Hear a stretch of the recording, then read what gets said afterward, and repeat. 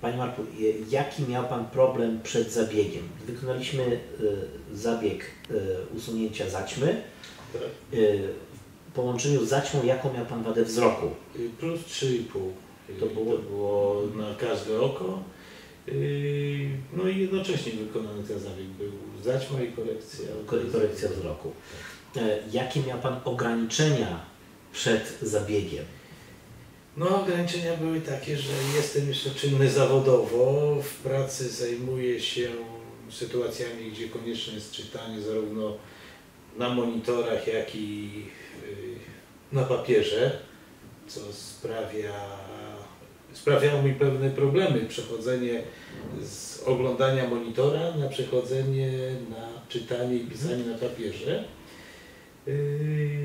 Używałem cały czas okularów, tak? Ile par okularów używał Pan również cały czas? Yy, Miałem cztery pary okularów. No być może dlatego, że yy, gdzie indziej mieszkam, gdzie indziej pracuję w innym mieście, także jeszcze te okulary tam w miejscu zamieszkania również były zapasowe. Jasne. I niech Pan powie, co spowodowało, spowodowało podjęcie decyzji korekcji wzroku? Czy nie tylko usunięcie zaćmy, ale też Pan zaczął szukać, jakie są możliwości na pewno i co Pana, y, jaki był faktor, który Yy, pomógł Panu tak, podjęciu decyzji? Zacząłem interesować się tą sprawą dobre 10 lat temu, może nawet wcześniej. Yy, Ze względu na to, że pracuję w środowisku, w którym konieczne jest widzenie zarówno z bliska, jak i na odległości do 4, mniej więcej do 4 metrów. I tutaj chciałem znaleźć możliwość naprawienia wzroku, które by mi poz- pozwolił to y, zrealizować. Natomiast 12 lat temu nie było takich możliwości. One pojawiły się dopiero, y, przynajmniej w- wiedza, którą zdobyłem niedawno, że można to zrealizować do tego stopnia, że nie muszę korzystać z, okularów, z okularów progresywnych, które zapewniały mi te progresywne to, że pisałem, czytałem z takiej odległości.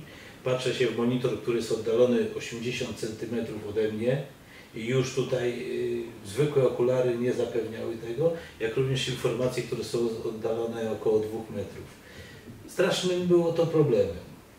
Y, zacząłem się interesować tym znowu, bo powiem szczerze, koledzy w tej klinice tutaj wykonywali już pewne operacje, także od nich dowiedziałem się, że są zadowoleni, polecili tę klinikę i zacząłem się interesować i tak doszedłem do miejsca, w którym jestem. Jak Pan odczuł sam zabieg, y, dzień, dzień zabiegu, dzień operacji? Jak, jak, jakie to było dla Pana przeżycie? Czy coś bolało, czy, czy y, jak to Pan odebrał?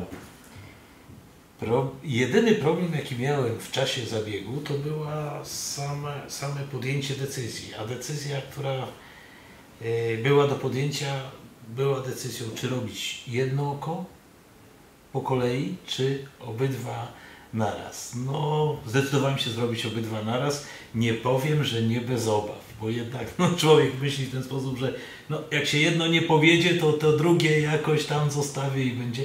Natomiast z informacji, które uzyskałem, było to zapewnienie, że ta operacja jest no, praktycznie obarczona małym ryzykiem, że tak powiem.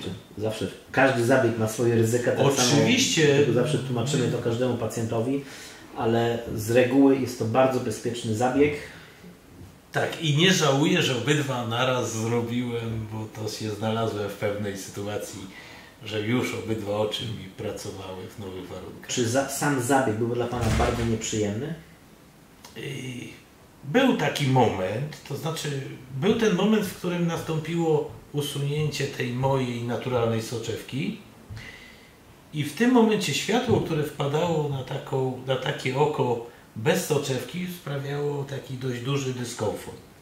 Natomiast to był dość, dość, dość krótki czas, a poza tym no może jedynie zakładanie weflonów, no nie jestem zwolennikiem igieł od urodzenia, czuję przerażenie przed igłami. Jak przebiegała Pana rekonwalescencja? Jak szybko zaczął Pan widzieć? No, Pierwsza kontrola y, była następnego dnia. No tak. I jak szybko Pan dochodził do siebie? Jak Pan... Jak szybko to zaczy- już na drugi dzień już widzi, jak po zdjęciu tych zdjęto mnie i powiedziano, no już możesz funkcjonować. No więc yy,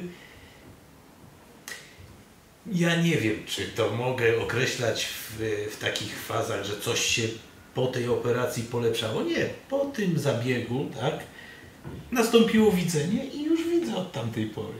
No może, może jestem jakimś ewenementem, nie wiem jak to, to wszyscy odbierają, ale ja po zdjęciu opatrunków widziałem no bardzo dobrze i to jest do tej pory w ten sposób. Jak zmieniła się jakość życia dla Pana? Jak to Pan porównuje jest- przed zabiegiem, po, zabieg, po zabiegu? No jest y, komfort, który nastąpił, o, brak okularów, a, czy, czy chociażby y, coś, co mi utrudniało życie. Y, Może dla, dla przeciętnego pacjenta czy człowieka nie było to utrudnieniem, ale dla mnie, który korzystał z okularów progresywnych, zobaczyć coś u góry powodowało to, że musiałem strasznie daleko od, y, odchylać głowę, tak, żeby progresywne okulary zobaczyły to. To było tak uciążliwe, bóle karku po, po takiej pracy. Natomiast w tej chwili ja patrzę do góry i się uśmiecham. Mówię, no czegoś tutaj nie, do końca nie rozumiem. Widzę u góry napisy i widzę. No. Panie Marku, teraz mówiliśmy o tych wszystkich pozytywnych rzeczach, ale zawsze też się pytam o negatywne rzeczy, bo wszystkie soczewki premium, powiedzmy ze specjalną optyką, mogą mieć czy mają e, skutki uboczne, tak jak światłowstręt. E, czy, czy, czy, czy czuł Pan, czy czuje Pan jakiś światłowstręt, czy większy był ten światłowstręt po zabiegu e, i światłowstręt nie tylko w ciągu dnia, ale zwłaszcza w nocy, który się manifestuje w nocy przy tych wszystkich soczewkach ze specjalnymi opty- optykami? Ja myślę tak, y, dobrym czasem wydaje mi się na zrobienie tego zabiegu było właśnie, ja miałem go robionego na koniec października, tak? Zima, ciemniej, jednak ta pogoda y, nie z takim ostrym słońcem y, powodowała mniejszy dyskomfort w tym momencie, aż się oczy przyzwyczajały do tego nowego światła. Jednak one były za mgłą, cały czas funkcjonowały w jakiś sposób i to światło yy, na wiosnę. Teraz jak zaczęły się pojawiać, rzeczywiście okulary są wskazane, takie Słoneczne. słoń, przeciwsłoneczne. Być może że się przyzwyczaję do tego, natomiast y, sądzę, że y, czas, w którym robiłem tę operację, gdybym ją teraz robił i wyszedł nagle na takie ostre słońce, to by, by mogło być dla mnie mniej komfortowe. Natomiast y, tak, jest odczuwanie tego światła słonecznego. Nie światła y, sztucznego, tylko słonecznego. Y, może mrużę troszeczkę oczy, używam okularów przeciwsłonecznych, ale wydaje mi się, że to jest kwestia mm, przyzwyczajenia. Czy jest, czy podjąłby Pan dzisiaj, znając lekki światłowstręt, czy jeszcze raz podjąłby Pan decyzję wykonania zabiegu? To Nie, nie, nie, nie, no Najważniejsze to jest- pytanie.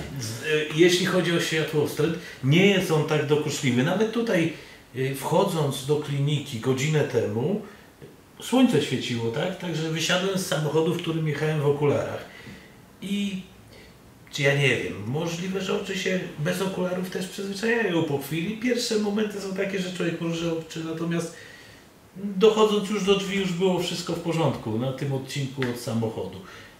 Odczuwałem to, ale przez te dwie minuty drogi już się to ustabilizowało, tak że mogę bez okularów i funkcjonuje, tak, nie ma, nie ma problemu.